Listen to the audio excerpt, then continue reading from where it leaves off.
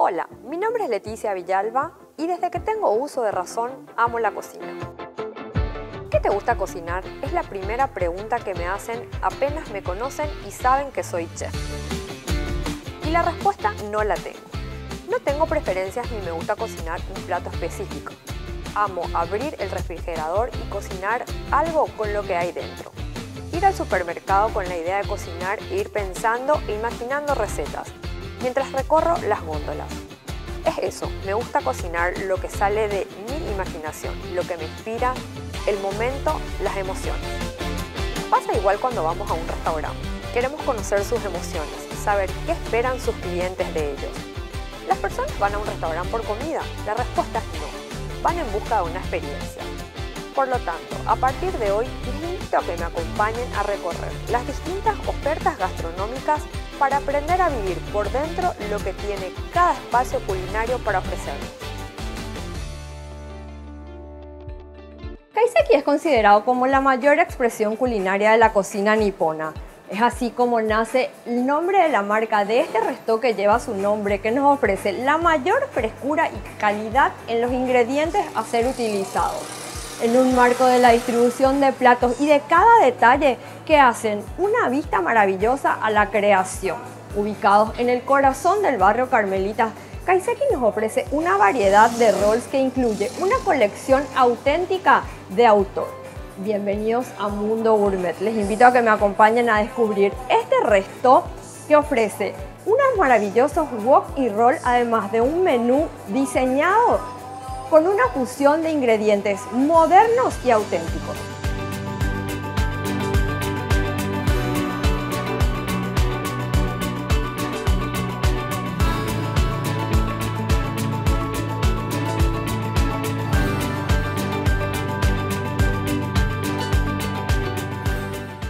Bueno, nos encontramos acá en Kaiseki en compañía de Carolina Fernández, su propietaria, que nos va a contar toda la historia de este maravilloso restaurante que lleva el nombre de la mayor expresión culinaria nipona. Carolina, bienvenida a Mundo Gourmet, gracias por recibirnos. Muchísimas gracias Leti, para nosotros un placer que nos acompañes vos y tu maravilloso equipo. Muchas gracias. Bueno, Caro, contame un poco de la historia que ya veníamos hablando atrás de cámara, de, lo que es Kaiseki, cómo nace, cómo me, me, me encanta el, el, proceso de trabajo que tuvieron y me encantaría que le cuentes un poco al público eso. Bueno, hace unos años nosotros somos un equipo de trabajo joven, ¿verdad? Estamos mi hermano y mi marido, eh, que quisimos volcar toda nuestra experiencia de haber vivido afuera, de siempre ser apasionados de todo lo que es la, la gastronomía, la cultura gourmet, porque siempre dije yo que no es solamente sentarse a comer un rico plato en un restaurante, sino que toda la experiencia que eso engloba, desde que uno llega al lugar tiene que haber para mí rico aroma, tiene que el ambiente envolver al comensal, al cliente que llega y desde esa experiencia que uno le pueda brindar, después se complementa con los platos que uno pueda presentarle. Y con la atención también. Con la atención que es fundamental. fundamental que también acá es un diferenciador nuestro que después te voy a comentar más Perfecto. que realmente eh, nos abocamos mucho a eso también, a que la atención sea muy personalizada. Me encanta. Bueno, ¿y cómo, cómo nace el negocio y cómo crean Kaiseki? Fuimos amantes siempre de toda la comida oriental y en especial del sushi, ¿verdad? Entonces eh, dijimos, vamos a hacer algo gastronómico porque es lo que nos apasiona, ¿verdad? Lo primero y más fácil que todo el mundo quiere, que es traer una franquicia afuera, todo empaquetado. Claro. Y, y lo más práctico y fácil, ¿verdad? Eh, al principio fue eso, empezar a ver franquicias afuera, tuvimos contacto con varias marcas, es más, había dos o tres marcas que ya estaba tipo cerrado, que queríamos, que nos encantaban sí el concepto, pero en ninguna de ellas a nosotros nos iba a permitir impregnar nuestro sello. Claro. Ellos te dan así el, el, el esquema la, armado. el esquema armado, la carta con los platos que ellos quieren que vos vendas, y entonces eso a mí no me cerró nunca. Yo no le iba a poder a ningún plato dar mi toque. Tu propia dar impronta. Mi impronta. Es más, este pisco sour es mi impronta, es mi receta. Yo quise que así salga. Entonces, yo puedo decir, es mi pisco, mi pisco Mi sour. pisco sour, claro. Entonces, en base a eso empezamos a decir, no, franquicia no va a funcionar. Vamos a, vamos a hacer nuestra marca. Crearon Y realmente, si yo ahora pienso a, a unos años atrás, digo, qué loca que estaba porque realmente eh, aventurarse a ese tipo de cosas, de crear una marca desde cero en un mercado tan chiquito como Qué es el nuestro, realmente, realmente sí. eh, digo, qué loca estaba, por lo visto en ese momento, pero era tanta la pasión que teníamos que queríamos que salga, eh, te digo, nuestra personalidad, toda nuestra experiencia gastronómica vivida afuera, volcarlo en cada plato y eso fue lo que nos impulsó a crear Kaiseki. Y sobre todo, eh, mucho la, la idea del giro del negocio, porque me contaba fuera de cámara que trabajaron un año a puertas cerradas solamente para crear la marca, probar los platos e ir haciendo prueba y error. Así mismo, totalmente Leti. Realmente, como decís, es prueba y error. Y eso nos demoró a nosotros un año.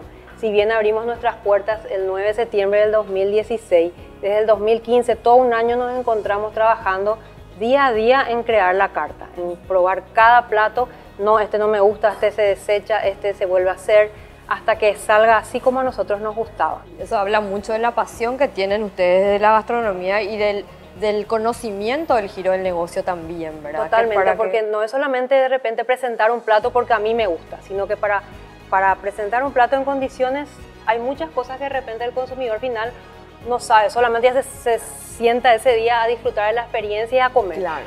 Tiene que estar los, eh, los ingredientes, la materia prima, tiene que ser de fácil acceso, tiene que estar todo el año disponible o en el momento que no es estacional ver por qué se puede suplantar tiene que tener una, eh, una avaliación por el personal de tecnología de alimentos para que ese plato pueda ser presentado.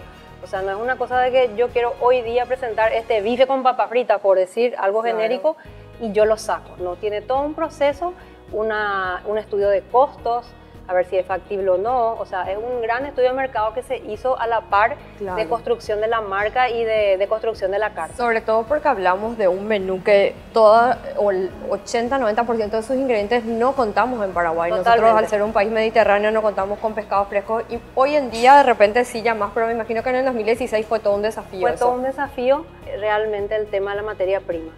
Es más, de repente hay importadores, no solamente de los frescos pasa eso, ¿verdad? No, no, hablamos lo de los mariscos y todo esto que bueno, que viene congelado y, y, algunas cosas que vienen en temperatura adecuada, sino que de repente ingredientes, ingredientes más premium que de repente uno quiere implementar a una receta y los importadores de acá muy pocos son los que se aventuran a traer cosas que no tienen tanta salida en el sentido eh, comercial. Eh, entonces de repente vos querés a un plato ponerle un ingrediente y seis meses puedes tener y después a los seis meses el importador te, dice, te dice, deje de traer porque ya no era viable para nosotros desde el punto de vista comercial. Claro. Entonces ahí a nosotros eh, uno puedes meter en carta y tener seis meses y después decir, claro. ¿qué hago con esto? Entonces era todo realmente un desafío eh, hacer una carta con proyección en Paraguay, como les dije, que los ingredientes realmente a veces son difíciles de conseguir, como lo, como lo mencionaba. Claro, inclusive porque no, no, hablamos solamente del sushi, de los rolls y de los wok, hablamos también un poco de, de, la comida, de esa fusión peruana, de conseguir eh, desde las papas, desde la que, que, tienen una forma de, de, plantación especial. Creo que ahora ya te contamos con pequeños productores que... Pequeños productores, pero de todas maneras eh, tratamos de imitar, porque aunque se produzca acá de repente el sabor de muchas cosas, eh, no va a ser igual nunca. pero tratamos de imitar con ingredientes, eh, con sazonadores o con de repente alguna especia, de que el sabor se mantenga, y que sea lo más similar posible. Posible, claro, no, porque obviamente ellos tienen distintas papas de distintas alturas de los Andes, que eso va a ser imposible igualar, pero, pero se puede lograr algo similar con, con algún sazonador. Así mismo. Claro, contame, ustedes empezaron, eh, contábamos a puerta cerrada un año, después fueron evolucionando, abriendo las puertas. Me contabas que tenían personal que ya trabajaban con ustedes y hoy en día cuántas personas trabajan, a cuántas personas dan eh, trabajo. Como te comenté, empezamos en el 2016, un año antes, todo un año creando la carta eh, para que salga como sale hoy en día, ¿verdad? Claro. Y en ese momento empezamos siete personas dábamos atención, porque cuando cerramos solo delivery, el mercado de delivery eh, fue lo que después nos catapultó a esto. Si bien el plan de negocio inicial, nosotros tuvimos tres variables que consideramos para iniciar. Todo lo que es el mercado de delivery, que supuestamente íbamos a desarrollarlo en cinco años. Luego iba a venir lo que es, para que el público nos conozca en restaurante, la segunda fase de, este plan de negocio del proyecto. Y después la tercera fase que más adelante, si Dios quiere, podremos implementarla, que es franquiciar. Entonces, Eh, gracias a nuestro éxito como delivery fue que este número, el paso 2 de nuestro modelo, fue lo que adelantamos, porque en vez de hacerlo en cinco años, lo que es delivery, al tercer año ya pudimos, gracias a Dios, eh, consolidarnos como la marca que hoy en día es Kaiseki para poder abrir al público como restaurante. Y fue lo que nos impulsó a crecer así en esta esquina tan emblemática de Carmelita. Eh, ustedes eh, también marcaron eh, un hito creando el e-commerce y que la gente pueda hacer el pedido online de la comida súper fresca. Contame, ¿eso, ¿eso hicieron ya antes de la pandemia o, se reinventaron? Era un, era un sueño que teníamos ya desde antes de la pandemia. Siempre decíamos que íbamos a tener una aplicación, íbamos a tener una forma de llegar al público, dado que en ese momento todo se estaba volviendo tecnológico, como hoy en día está súper desarrollado. En ese momento empezaba. Pero después, por o por un motivo, siempre fue, se fue delegando porque, bueno, era todo el delivery y restaurante el, el, tema fundamental. Pero después justo vino la pandemia que para muchos fue eh, realmente un hecho que catapultó otras cosas. Si bien se puede decir de que el mercado gastronómico es uno de los que más, de lo que más sufrió, también yo considero la pandemia como, como un impulsador de otros negocios. De otros negocios, como es esto que mencionas, el e-commerce creamos rápidamente eh, la forma de tener todos nuestros productos en la página web, de la forma que con un clip el cliente, el mismo plato que come en el restaurante, puede recibirlo en la puerta de su casa en aproximadamente 40-50 minutos. Perfecto. Eh, realmente eso es todo un desafío porque tenemos ingredientes súper, súper eh, difíciles de que para que el plato final llegue en las mismas condiciones, porque no es lo mismo servirlo en un restaurante que viajar 40 minutos en una moto. En una moto para que llegue al cliente. Pero se rediseñaron muchos platos para que el cliente reciba lo más parecido posible a lo que va a ser comer en el restaurante. Y me imagino que también unos packaging especiales, ¿verdad? Para poder contener. Especiales, Realmente el, el, sushi en general tiene un packaging muy especial, para que lleguen en, las condiciones de frío adecuadas. Claro. ¿Verdad? Para no romper la cadena de frío. Para no romper la cadena de frío, que es súper importante con todo lo que es mariscos y pescados. Pescados, ¿verdad? Y lo mismo el, caliente, para que lleguen la temperatura óptima al, al, comensal que va a disfrutar en el restaurante. Sí, realmente es súper importante en ambos la temperatura, porque tenemos el preconcepto de que solamente lo frío necesita respetar una cadena y lo caliente también necesita, porque en el momento donde baja temperatura ya entra una zona de riesgo que no es recomendado. Así que me encanta que hayas remarcado que, que, también lo caliente... Te, comenté que cuando nos volcamos al e-commerce fue todo un desafío también el, el, evolucionar a esto de entregar en la casa un plato gourmet. Sí, o sea que supieron buscar la oportunidad en plena pandemia de desarrollar todo lo que fue e-commerce. Y delivery me imagino que habrá explotado también en ese momento. Sí, gracias a Dios eh, siempre fuimos una empresa muy fuerte en delivery. Nunca nosotros ni bien cuando abrimos el restaurante tampoco bajamos los brazos de lo que es, porque realmente es todo un segmento aparte. Parece muy fácil decir llamo y pido por teléfono, pero no, es toda una logística diferente, un tipo de cliente diferente. Una atención diferente Una atención diferente que también tenés que personalizarla para que hoy en día eh, la gente te siga eligiendo a pesar de la competencia y marque la diferencia. Entonces es todo un desafío eso y, también me parece importante en este punto, también me preguntaste y todavía no te, no te contesté, ¿a cuántas personas damos trabajo? En la pandemia, gracias a Dios, eh, fuimos una de las empresas, yo digo con mucho orgullo, que no rescindimos de personal. Tratamos de buscarle trabajo, buscarle alguna función dentro de la empresa. Eso realmente es súper meritorio. Porque nos, nos, nos, ponemos en el lugar del trabajador, que por ejemplo el personal de atención fue el primero que, queda sin, trabajo desde que no podíamos abrir el restaurante, ¿verdad? Entonces buscamos la manera de, darle un trabajo, el, mozo se puede atender en delivery, eh, le damos rápido un coaching rápido para que pueda conocer a los clientes. Eh, el que tenía moto de repente empezó a hacer delivery.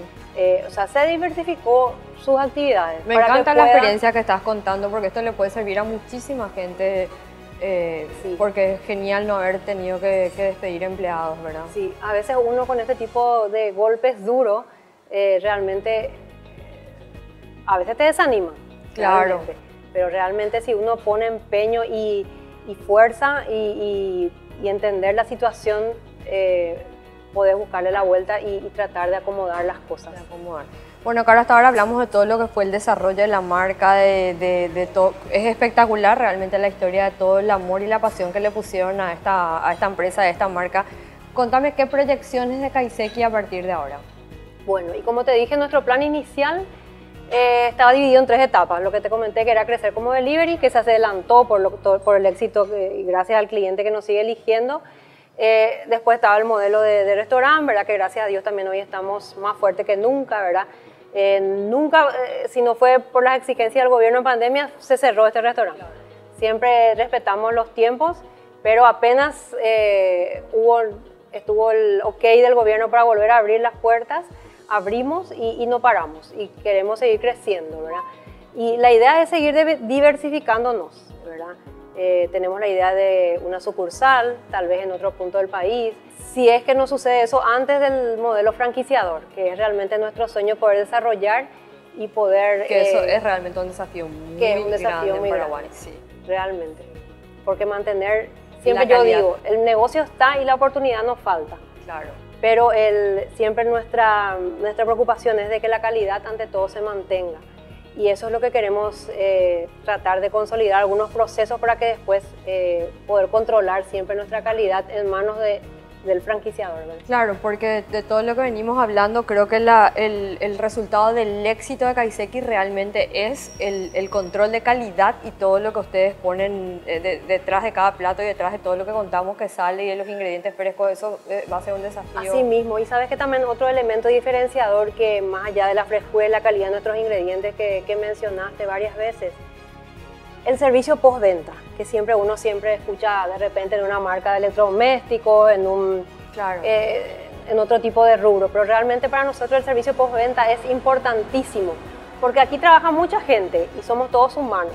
Claro. En algún momento de la cadena algún error puede Alguien se puede equivocar. Alguien se puede equivocar, ¿verdad? Eso es humano y, lo reconocemos, ¿verdad? Si bien tratamos de hacerlo todo con la mayor perfección, hay veces que, que tal vez no va a llegar a suceder pero eso es lo que tenemos, que reconocemos el error y estamos siempre al pie para solucionar.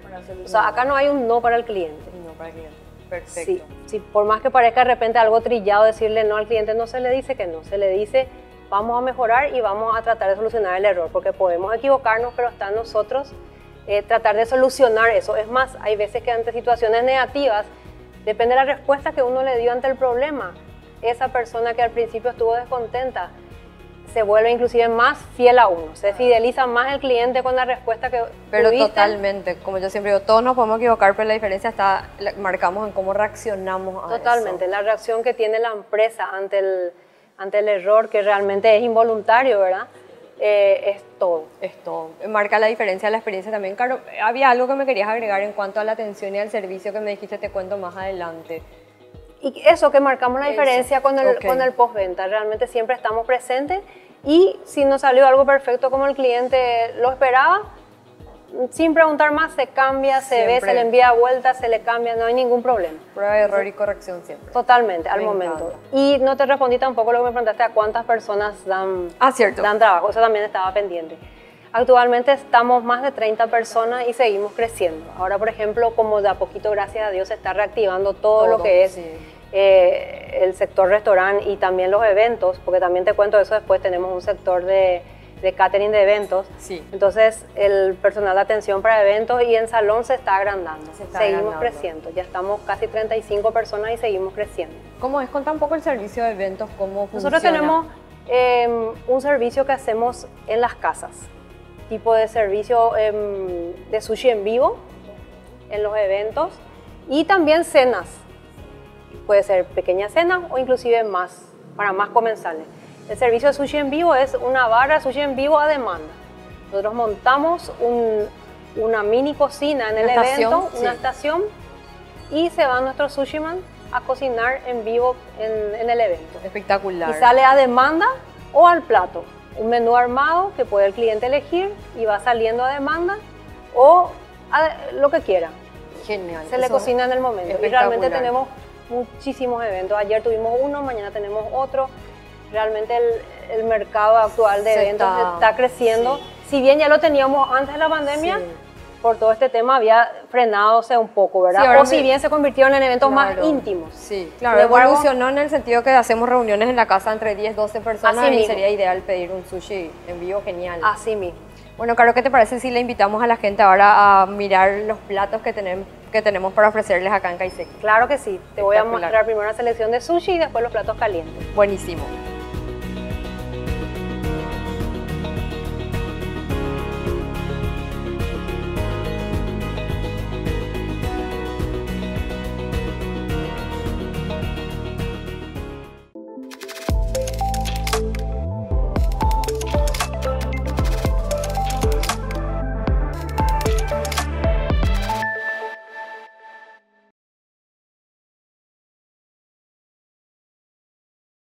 Llegó Camado Argentino a Paraguay, construido en materiales nobles para que te dure toda la vida, resistente a la intemperie y al impacto térmico, con un termómetro frontal que te permite controlar la temperatura de cocción para que puedas utilizarlo como parrilla, ahumador, horno, grill o espiedo.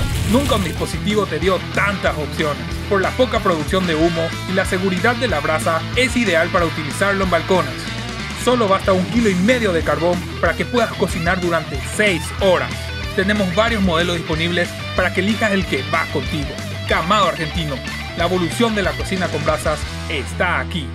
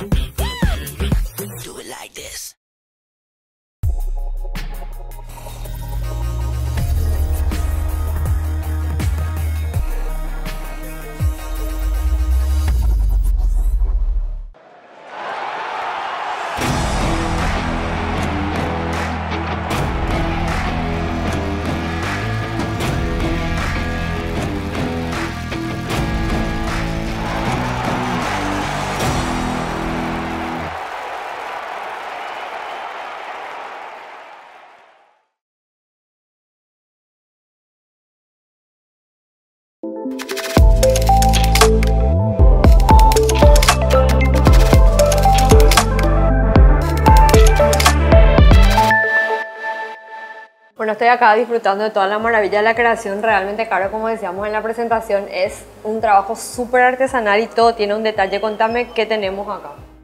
Esta es una selección de sushi realmente muy especial que preparamos para vos. Gracias. Y eh, el más conocido de los roles siempre va a ser el que lleva arroz. El sushi es sinónimo de, arroz avinagrado, entonces todo el mundo conoce el sushi, eh, que es el arroz envuelto, como yo siempre traduzco. Pero en este caso también te, te, preparé una selección de geishas y también de lo que es tamago, que es una fina lámina de fécula. Voy a probar el tamago.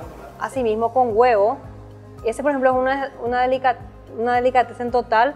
Es, eh, Tiene, ¿viste lo que es?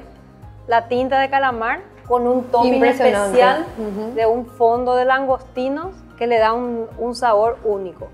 Después tenés el tamago kaiseki que tiene un praliné de almendras como topping y en su interior unos camarones sazonados también con una receta especial, por eso se llama tamago kaiseki. El tamago red que es súper solicitado también, es súper, súper, súper... Contame este que tiene adentro. Ese tiene también camarones y tiene batata crocante encima. Mm. Algunos piensan que es remolacha, de repente me preguntan qué es lo rojo que tiene arriba. Siempre es muy, es muy comentado el color porque me dicen qué es y realmente es batata. ¿Cómo logran el color? ¿Con, con colorante o con un baño de remolacha? Tiene un fondo de un baño de remolacha con también con un levantador de color que es un tipo colorante, ¿no? Alimenticio. Genial. ¿Y acá qué tenemos, Caro? Acá tenemos el famoso Buenos Aires Roll, que es un rol súper, súper solicitado. La salsa Buenos Aires es muy famosa. La gente asocia mucho esa salsa con ese rol, pero también esa salsa la podés, aquí está, la podés sazonar a cualquiera de los otros a que también le queda muy bien. Tenés el nigiri de pulpo, que como te decía también somos muy especialistas en pulpo. En pulpo, eso me Tenés contaba el avocado roll, tenés las geishas de caviar black, que también es un must aquí en el restaurante, siempre es muy pedido. Y bueno, así una combinación de sabores, que lo que queríamos es que vos pruebes un poquitito de todo, porque a veces eh, el color te entra por los ojos, pero también el sabor te tiene que en el paladar producir esa fusión que no es necesariamente a veces es todo salado, todo dulce, sino que acá por ejemplo tenés un agridulce, tenés un, un saladito pero picantón a la vez, entonces... Un huevo que es súper eh, creativo, ¿verdad? O sea, me parece una maravilla de creación y este praliné que es impresionante. Sí, no, realmente ese, ese es un rol de autor súper, súper eh, preferido y realmente una vez que nosotros lo implementamos después, eh, digo yo siempre, yo nunca me siento ofendida porque la competencia, entre comillas, copia. Al contrario. al contrario, me siento halagada. Súper halagada, me imagino. Sí, así mismo. Esto, Caro, es, es- que Caviar tiene caviar, sin sí. y adentro Tiene queso, crema, y el salmón, la lámina de salmón que envuelve al queso crema y el fruti- la frutillita que, que decora el caviar con la cebollita de Con la verdeo. cebollita verdeo, espectacular. Esto era, esto es pulpo, Sí. láminas de pulpo, Lámina genial. de pulpo.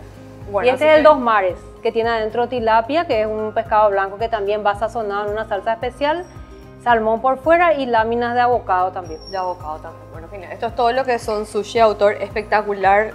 Vengan a animarse a probar porque son realmente diferentes a lo que hay en el mercado y ahora en un minutito le mostramos los platos calientes que pueden venir a probar en Kaiseki.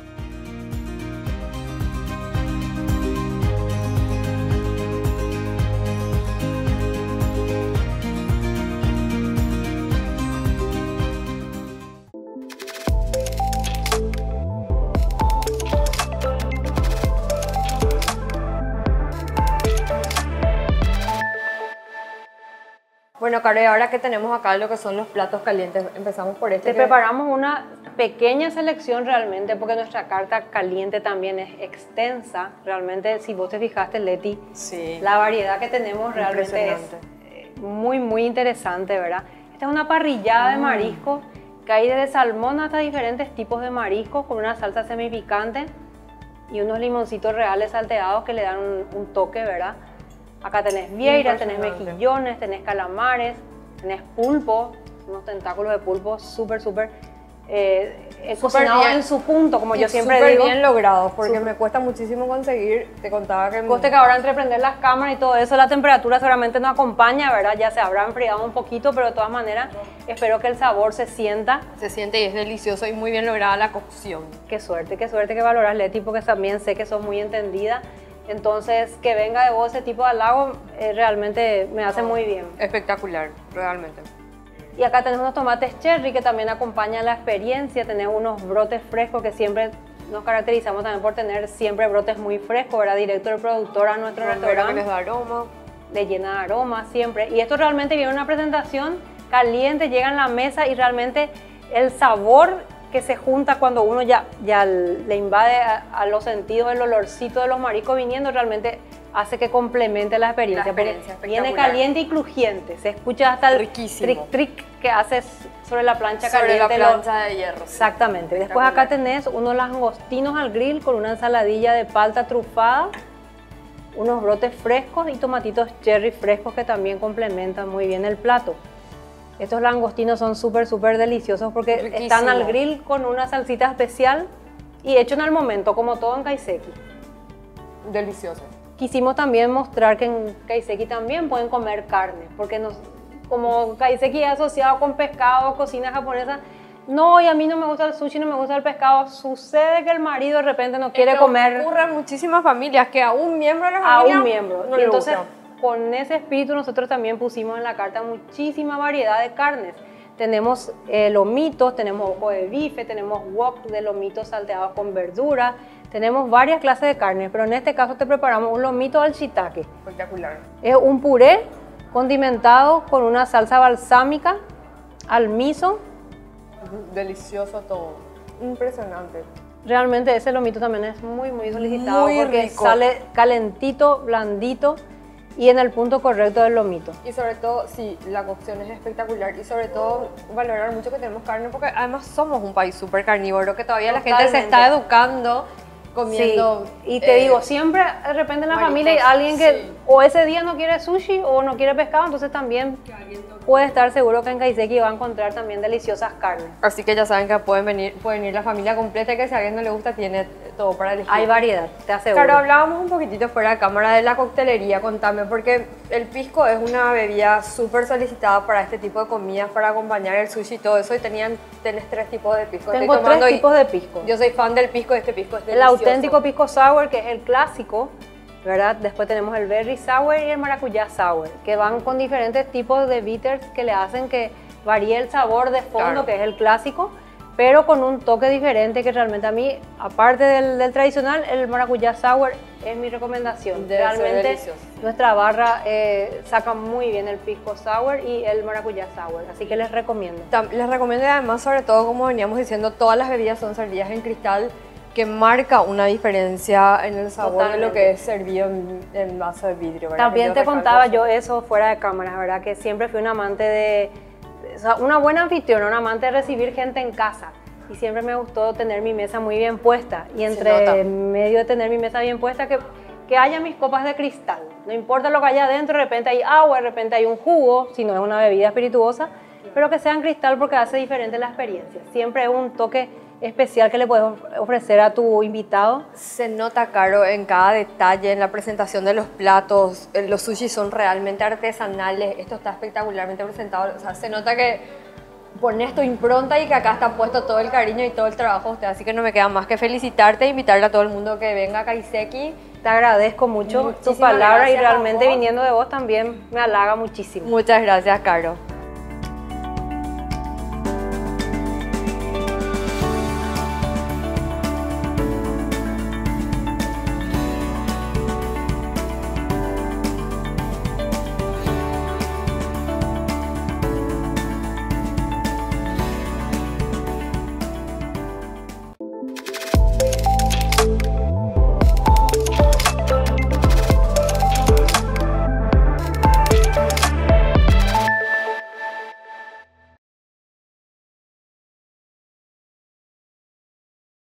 Llegó Camado Argentino a Paraguay, construido en materiales nobles para que te dure toda la vida, resistente a la intemperie y al impacto térmico, con un termómetro frontal que te permite controlar la temperatura de cocción para que puedas utilizarlo como parrilla, ahumador, horno, grill o espiedo. Nunca un dispositivo te dio tantas opciones. Por la poca producción de humo y la seguridad de la brasa, es ideal para utilizarlo en balcones. Solo basta un kilo y medio de carbón para que puedas cocinar durante 6 horas. Tenemos varios modelos disponibles para que elijas el que va contigo. Camado Argentino, la evolución de la cocina con brasas está aquí.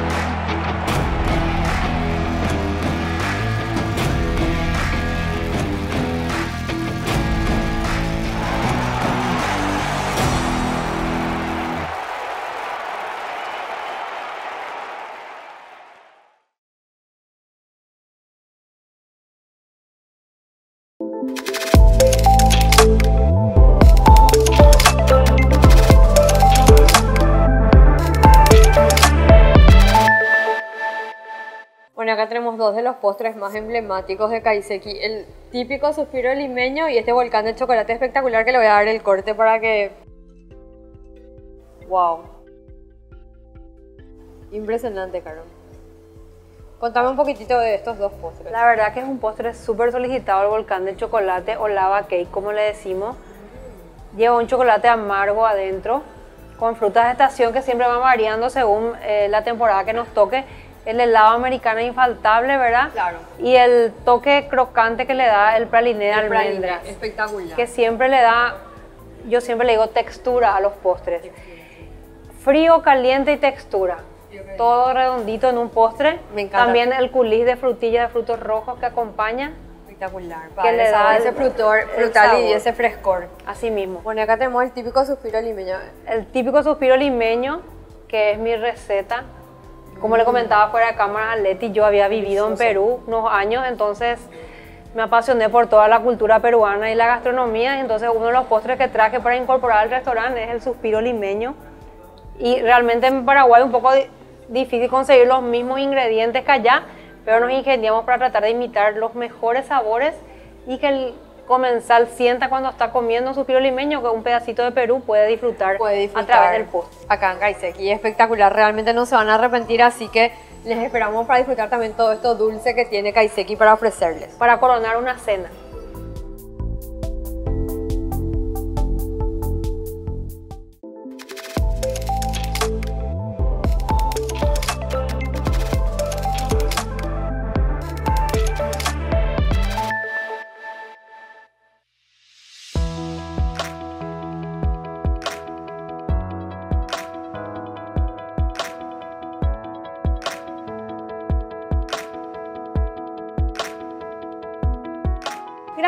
Acompañarnos hoy a Kaiseki y vivir esta verdadera aventura nipona, con esta creación de platos espectaculares de ingredientes frescos y de la mayor calidad, que además puedes disfrutar desde la comodidad de tu casa haciendo los pedidos online desde su plataforma e-commerce. Les esperamos en una próxima edición de Mundo Gourmet para seguir disfrutando más experiencias gastronómicas.